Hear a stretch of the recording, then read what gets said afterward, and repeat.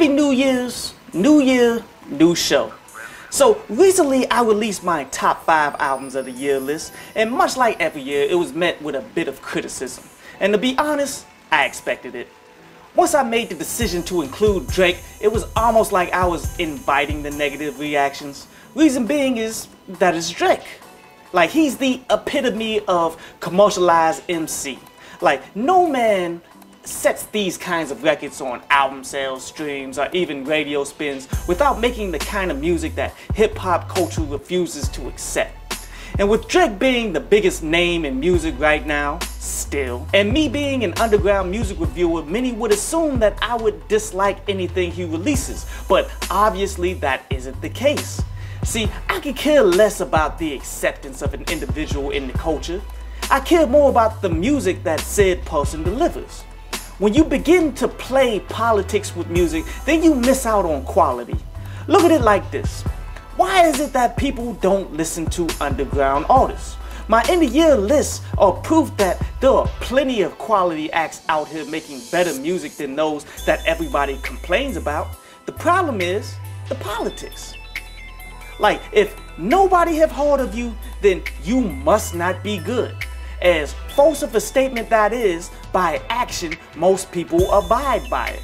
See, there are more than enough options out here for you to find great music, but instead you find time to complain about acts like Lil Pump to Drake.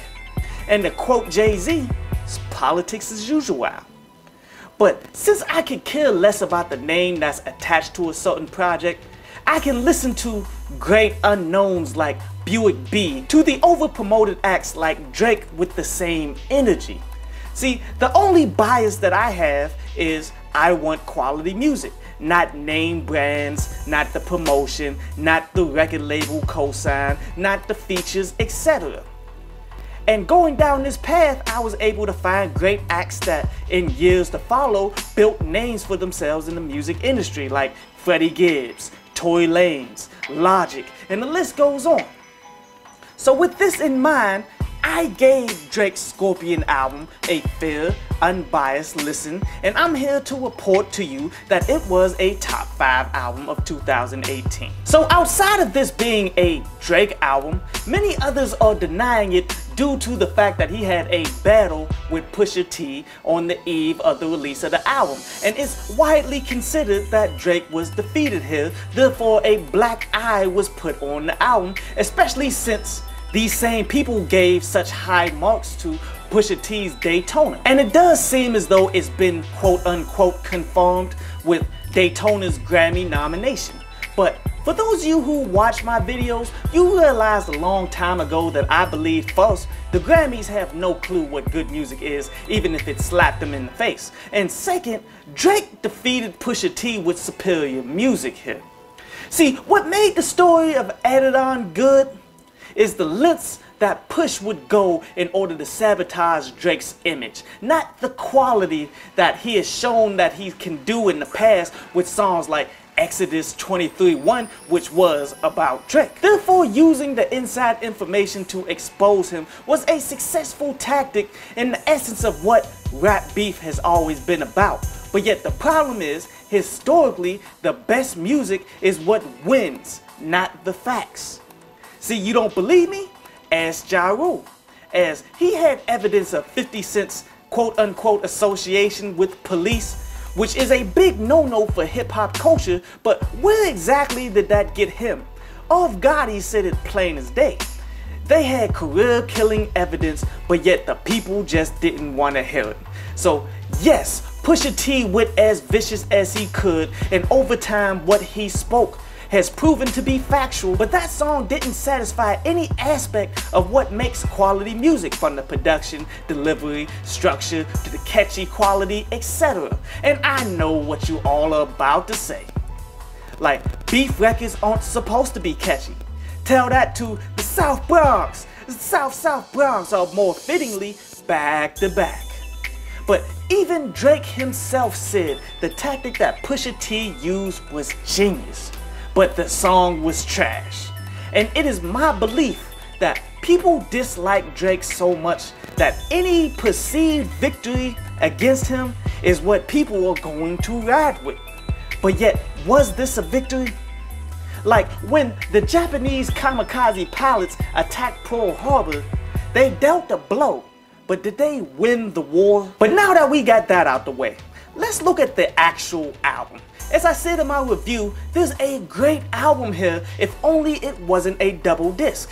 And one thing that I love about Spotify is the fact that it keeps your playlist well organized so that you can draw comparisons to the number of songs you like between projects. For Drake Scorpion, I held on to seven songs, and that is not a common occurrence for me. The only other acts that I've held on to as many songs over the past three years would be Rittz, as he did that over multiple albums, Bruno Mars with the classic 24 Karat Magic album, and this Nipsey Hussle Victory Lap album. That's it. Real talk, I like less songs from Anderson .Paak's Oxnard album, but yet I rated that one higher. See, there are a bunch of things that's different about this album, like how typically I dislike all forms of singles because they focus too heavily on getting sales than getting actual quality music out of it. But when you watch my review for Nice for What, I explicitly said that this song was going to be the biggest song of the year, and I actually still like that to this day. Gems like 8 out of 10 are superior to what most people have even in this year. Talk Up, produced by DJ Paul, with that prototypical 3-6 Mafia energy, was an amazing surprise as Drake was able to capture the proper delivery and was able to obtain a solid verse from Jay-Z, which hasn't happened in quite a while. Take the song After Dark. Yes, this continues his monotone singing techniques, which I for one am tired of, but yet every once in a while, he delivers songs like this, which shows us why these types of songs elevated his career in the first place. And Ty Dolla Sign should definitely get more credit for why that song is so good. On Emotionless and Sandra's Rose, Drake brings more quality hip hop with that super personalized content that we come to know him deliver throughout the years. And lastly, that Don't Talk to Me featuring Mike. Yes, I know the Jackson family didn't want that release, but personally, I dig the vibe. It is hard to enjoy this much music from one project and not consider it as a best of 2018. In closing, the culture as we see it today seems to be fatigued with Drake. Much like how people are constantly rooting for Tom Brady to lose because he's won so much, Drake has managed to reach that level in music. As much as people are hoping for his downfall, Drake, much like Brady, has put up a division winning effort and deserves to be recognized for it.